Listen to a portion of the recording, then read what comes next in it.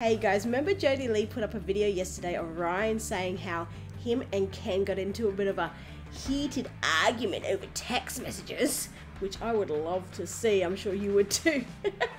now, Gypsy has responded because she wants to put her side of the story out there, okay? So I thought I would show you guys what she had to say about the whole ordeal. And he's like, that post of uh, life with Gypsy Rose or something like that. And he was talking about that picture that's going viral that it did not come from my account. I didn't post this picture, but it was a picture of me and him side like together and then a picture of me and Ken. And it said something to the fact that I had to kiss a frog to get to the prince or something. I did not write that. I I may have not been respectful in certain areas.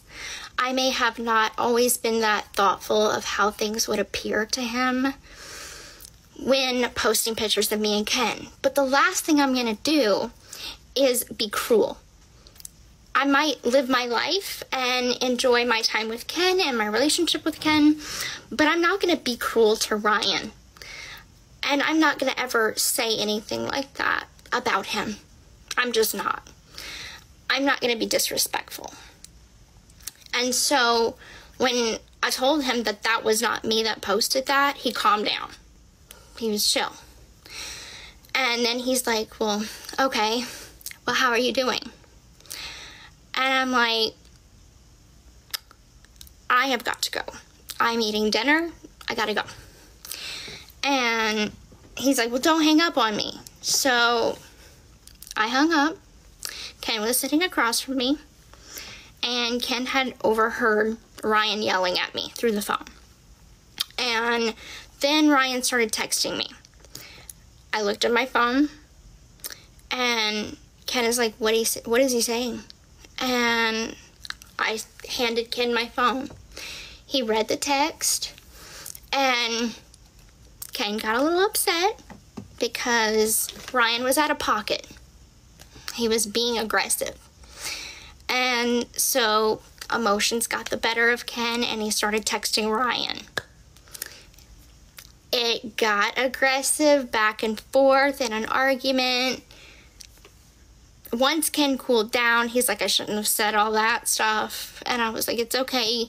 You were upset. You were being protective over me. I get it. And I blocked Ryan's number.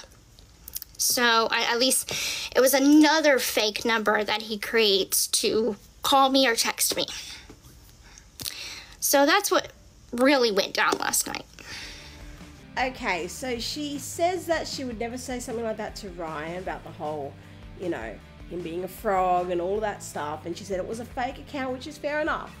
But then she goes on to pretty much paint the picture of Ryan being this all aggressive guy, which obviously he would be upset if I saw someone talking about my private parts like that.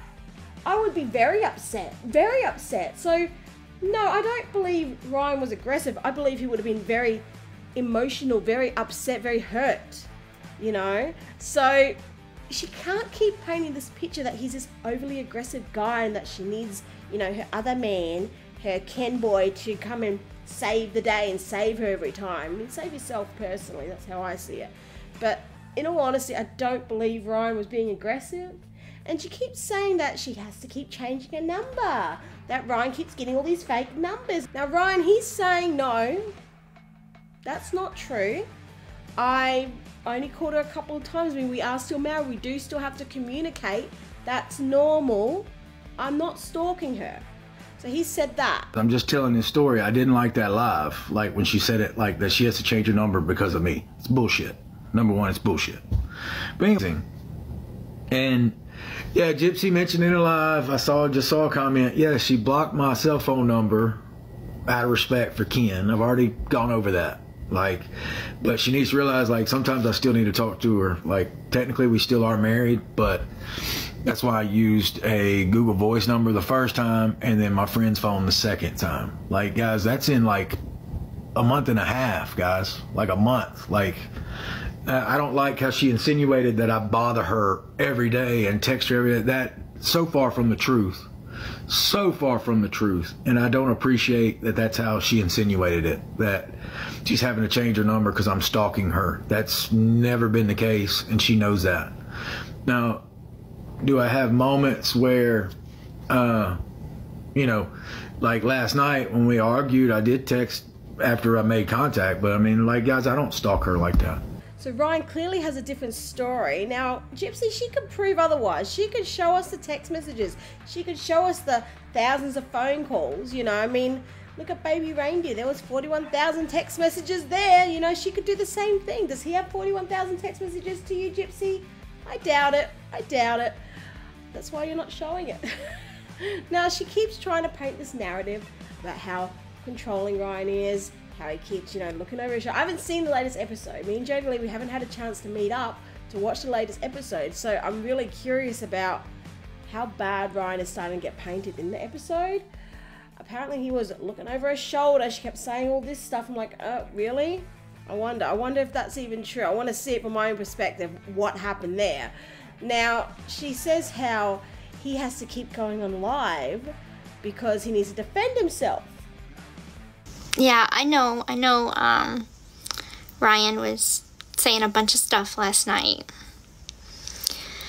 I think I'm just starting to expect that every Tuesday he's gonna hop on a live and try to defend himself because another episode came out and he didn't look exactly the best. I always said I am not gonna trash talk Ryan. I'm gonna let the show and his actions and my actions speak volumes more than defending ourselves, more than trying to argue with each other, throw shade at each other. I'm not about that.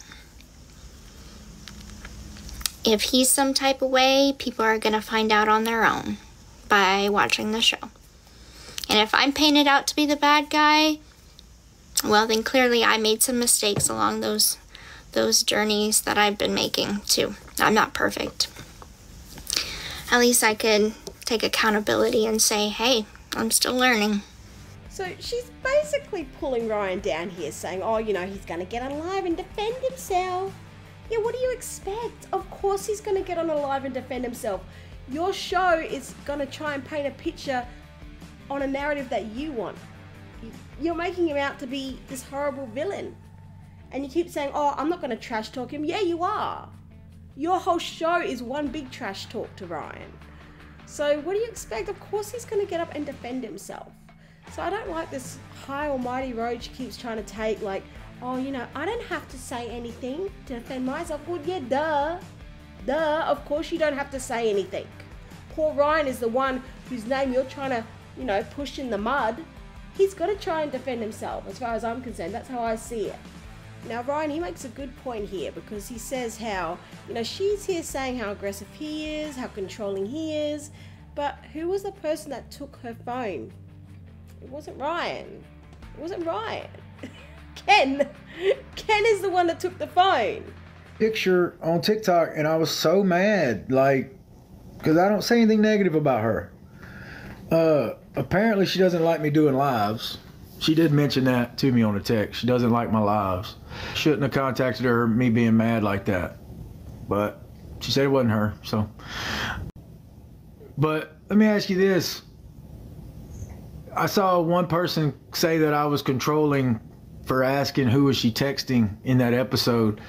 Guys, we were uh we were driving and uh her face was buried in her phone and you know, I was trying to talk to her, so that's why I said who you texting. Guys, they can edit to make it sound so so crazy. I mean, if that's controlling, I don't I didn't grab her phone. I didn't like grab her phone and say, "Who you texting?" like a creepo would.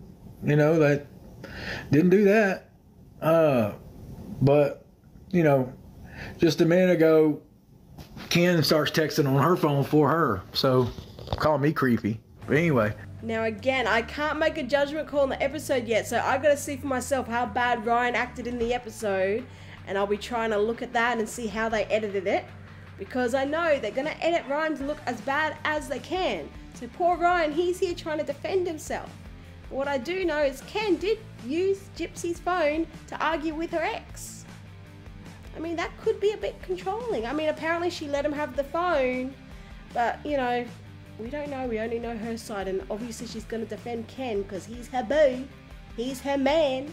So we don't know. We don't know the full story, but at the moment, it looks like Ken's the one that's controlling things a little bit. I don't know. I don't know. The other thing that Ryan said there was how Gypsy doesn't like him going live. Now she does rebut this, and I'll play that. And I'm totally fine with him doing lives. I just there's some things that I feel like if you're gonna talk about your life, talk about your life. Don't talk about me. Talk about your hobbies. Talk about wrestling. Talk about what makes your heart tick. Like, make it your life. Don't make it all about me. So when I saw that, it made me laugh because I'm thinking, what do you expect him to talk about? You literally left your husband for another man, and he has to watch you all over social media, and that's all everybody wants to talk about is you. So people are going to ask him questions. You expect him to ignore that? No, no.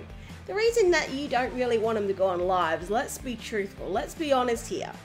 You're scared of what he's gonna say. Like, you're scared that he will finally show receipts.